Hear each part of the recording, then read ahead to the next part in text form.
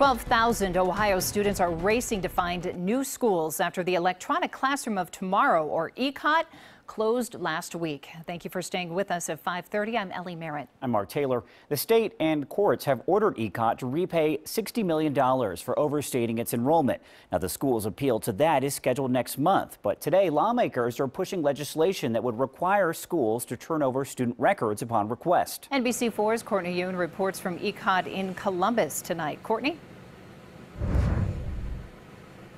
Ellie Mark, that new legislation would, would require public or private schools to turn over student transcripts within five days of that request. Families with ECOT students say they're still devastated that their school has shut down while they, while they search for new options.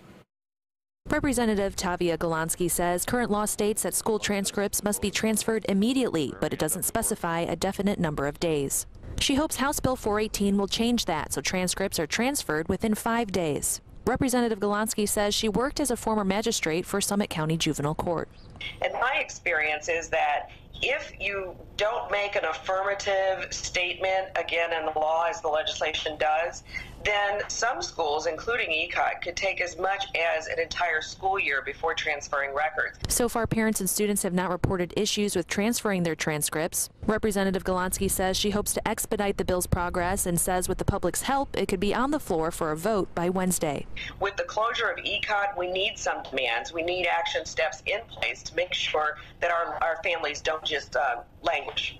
Melissa Phillips has two daughters that were enrolled in ECOT. They're one of thousands of families looking for a new school. We're very devastated. All of a sudden, you know, we get a notice that they're closing down. What do you mean closing down? It's pretty sad because I've been there for almost six years now. Now I have to go to a different school. Phillips says she's hoping to enroll her kids in a new online charter school this week. To me, it's like the school boards and everything just don't care. It's about money. And that's not the way it should be. Columbus City Schools is hosting extended hours for families to enroll into their district. Their special enrollment events will be this Thursday from 4.30 p.m. until 7.30 p.m. and Saturday from 8.30 a.m. to 4.30 p.m. at their Central Enrollment Center on Cleveland Avenue.